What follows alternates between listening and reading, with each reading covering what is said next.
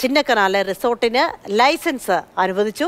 റിസോർട്ടിന് home stay licence നൽകി. നികുതി നിരക്കിൽ അടക്കം മാത്തിക്കുള്ളിൽ നടന്ന ഇളവ് ലഭിക്കും.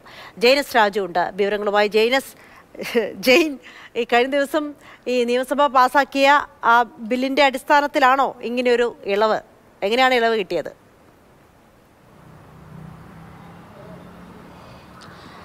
അഞ്ജിത അതിന്റെ അടിസ്ഥാനത്തിലല്ല അത് അതുമായി ബന്ധപ്പെട്ട നടപടികളൊക്കെ വരുന്നതേ ഉള്ളൂ.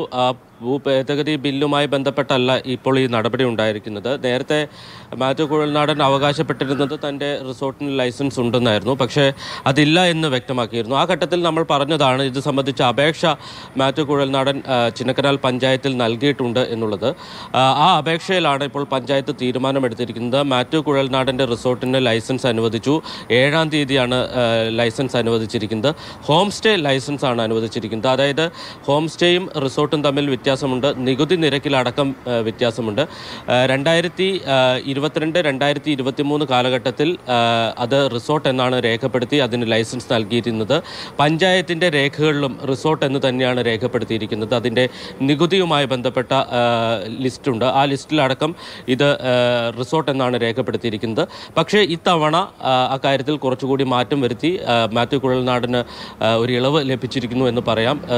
റിസോർട്ടിന് പകരം ഹോം സ്റ്റേ ലൈസൻസ് ആണ് നൽകിയിരിക്കുന്നത്. ഹോം സ്റ്റേ എന്ന് പറയുന്നത് ഒരു നിർവചനം എന്ന രീതിയിൽ നമ്മൾ കണക്കാക്കുകയാണെങ്കിൽ ആ കെട്ടിടത്തിന്റെ ഉടമയോ പ്രൊമോട്ടറോ അവിടെ താമസിക്കുകയും അതിന്റെ ഒരു ഭാഗം മറ്റാവശ്യങ്ങൾക്ക് പ്രത്യേകിച്ച് ഈ ലോഡ്ജിങ് ആവശ്യങ്ങൾക്ക് നൽകുന്ന ഒരു രീതിയാണ് നമ്മൾ ഹോം സ്റ്റേ എന്ന് പറയുന്നത്.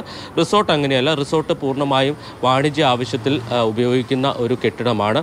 മാറ്റ് കുഴൽനാടിന് നൽകിയിരിക്കുന്ന ലൈസൻസിൽ പോലും അത് കൃത്യമായി രേഖപ്പെടുത്തിയിട്ടുണ്ട്. ഫാക്ടറി അതോടൊപ്പം തന്നെ വാണിജ്യ വ്യാവസായിക ആവശ്യങ്ങൾക്ക് നൽകുന്ന ലൈസൻസ് എന്ന നിലയിലാണ് റിസോർട്ട് ലൈസൻസ് നൽകിയിരിക്കുന്നത്.